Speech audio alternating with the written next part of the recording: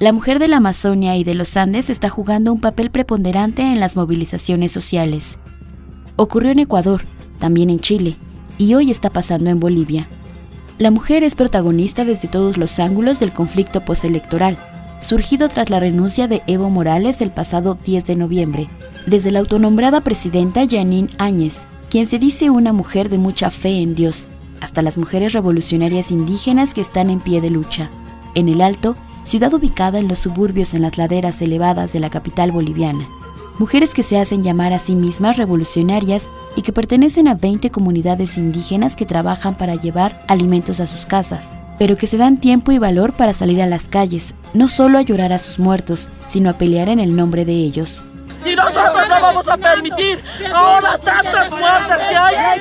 Por la mañana en el mercado, por la tarde en marchas que caminan varios kilómetros hacia La Paz. Ellas aseguran que la derecha golpista compró a sus dirigentes, pero que se van a levantar.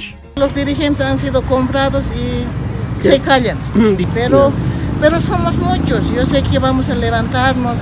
La gente humilde somos más que los ricachones jailones de la ciudad que ahora se han autonombrado ellos, ¿no ve? Somos más la gente humilde nosotros, somos muchos. Sí. ¿Cuántas comunidades son? ¿Cuánta gente más o menos son? Mm, somos cuántos? 20 provincias somos, 20 provincias somos. 20 provincias. y las 20 provincias somos hartos, somos millones, como dijo nuestro expresidente, nuestro el García Linero, nuestro eh, vicepresidente. En Bolivia, en muchos casos el hombre calla y la mujer indígena habla. Estamos autoconvocando a